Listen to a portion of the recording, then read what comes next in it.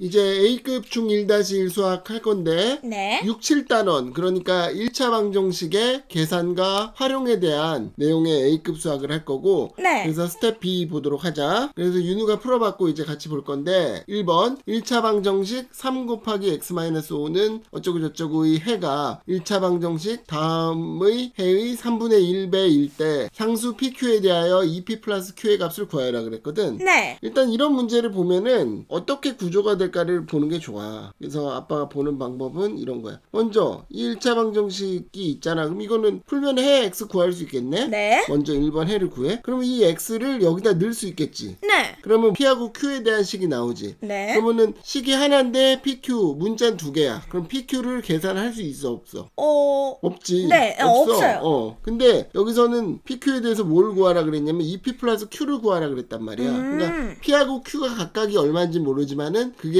결합된 식은 구할 수가 있거든. 네. 그래서 그거는 가능하다라는 얘기야. 그래서 보도록 하자. 윤우가 한 걸 보면 먼저 얘를 풀었어. 그래서 3x-15는 이렇게 풀어가지고 x는 1이 나왔지? 네. 먼저 이걸 풀었고 그 다음에 이것의 두 번째 해의 3분의 1이니까 세 배를 해줘야 세 배를 되죠. 해줘야 되니까 3이 해가 되니까 3을 여기다 대입을 했지. 네. 그래서 이런 식을 얻었고 이 식을 정리를 해보니까 이렇게 됐네. 네. 여기서 4p 플러스 2q가 나왔는데 문제에서 2p 플러스 q는 여기서 2를 나누면 되니까 2를 나눠서 2분의 5가 나온 거지. 네. 그래서 아주 잘했어.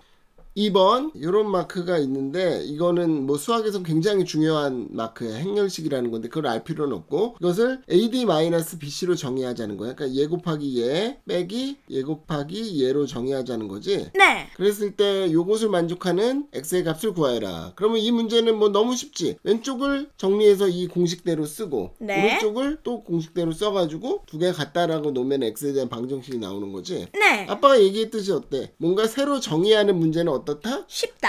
아, 그지? 그래서 이거 해보면은 왼쪽에서는 먼저 얘네들을 곱하면은 마이너스 6x 빼기 47에 28 아주 잘 적었고 오른쪽은 마이너스 2x 그다음 빼기 마이너스니까 플러스가 되겠지? 네. 플러스 10x 해가지고 x를 우변으로 옮겼어요. 변으로 네. 옮기면은 8에다가 6등에 14x 되고 네. 마이너스 28 돼서 x는 마이너스 2 됐지? 네. 어, 아주 잘했어 3번 방정식 이것의 해를 구하여라 그랬지? 이걸 네. 어떻게 구했니? 어 이거는 제가 절대값이 써 있는데 음. 절대값을 하라고 음. 잘 모르겠었는데 어. 그래서 아빠한테 물어보려고 했는데 3 빼기잖아요. 음. 그런 거 해서 범위가 좀 작을 것 같았어요. 빼기 1이랑 3 빼기니까. 음. 그러니까 마이너스 3에서 3까지 중에 될 거잖아요. 꼭 그렇지 아니, 않지? 꼭 그렇진 어, 않은데 음. 그래서 한번 일단 혹시 몰라서 좀 대입을 해봤는데 2가 돼가지고 썼는데 음. 이건 아빠한테 식을 좀 배우면 좋을 것 같아요. 이거는 푸는 방법이 크게 두 가지가 있거든. 음, 첫 번째 방법은 그림으로 이해하는 거야. 두 번째는 경우의 수로 이해하는 건데 네, 보자.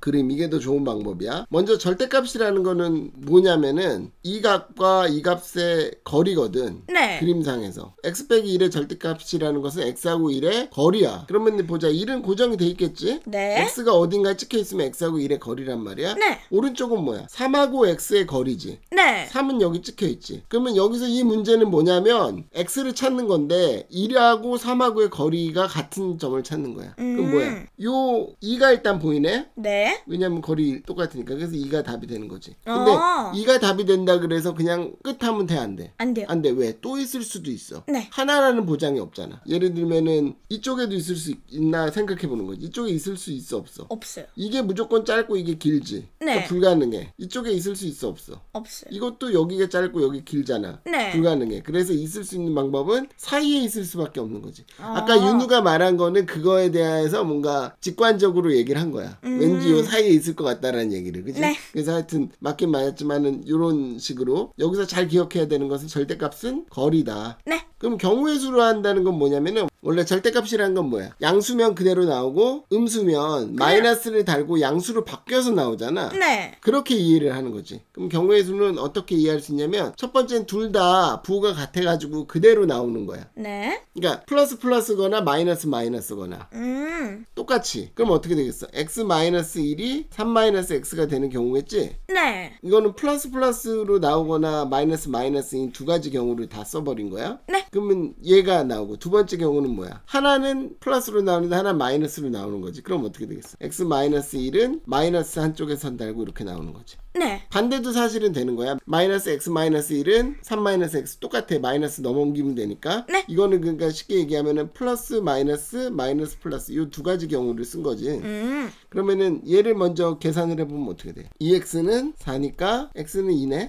네. 어. 그럼 여기서는 이렇게 답을 낸 다음에 이 경우가 원래 경우 이 경우가 맞는지 꼭 확인을 해줘야 돼. 음. 이면 어떻게 돼? 이면은 얘도 양수고 얘도 네. 양수니까 맞네? 네. 그래서 이거는 이제 답으로 인정. 그 다음에 얘는 어떻게 될까? 어, 플러스 얘는- x니까 네. 어떻게 돼? x X가 마이너스 사라지지 1이 않아요? x 마이너스 3인데 이게 사라지지? 네. 마이너스 1이 마이너스 3하고 같아질 수가 있어? 아니. 안 되지. 불가능하지? 네. 그러니까 사실은 이거는 우리 저번에 배웠던 뭐랑 같자면 0 곱하기 x는 0이 아니다. 아니다 아님 요거랑 같은 경우야 이거 불가능하다 그랬지 네. 그래서 여기서 해가 나올 수가 없는 거지 네. 그래서 답이 x는 2만 나오는 거지 음. 그래서 요렇게 두 가지 경우인데 더 좋은 건 그림으로 이해하는 거고 그 다음 경우의 수 어, 이거는 별표 해 놓을게 네. 4번 x에 대한 방정식을 풀어라 그랬지 네. 그래서 이거는 a는 어떤 숫자라고 보면 돼 어떤 네. 상수라고 돼 있잖아 어떤 고정된 수 2, 3, 뭐 100, 1000 이런 수라고 보면 되고 그럼 어떻게 하면 되겠어 이걸 일단 풀어서 이렇게 쓰겠지 네. 그리고 x끼리 모아. 그럼 어떻게 돼? a-1 곱하기 x는 a 플러스 이렇게 됐네. 네. 그럼 여기서 이렇게 끝난 게 아니라 마지막으로 따라서 x는 뭐가 돼? a 마이너스 1분의 a 플러스 2 이렇게까지 아. 써줘야 되는 답이. 네. 근데 이렇게 답 쓰면 이거는 맞는 답은 아니야. 음. 왜냐면 이건 어떨 때만 가능해? 어.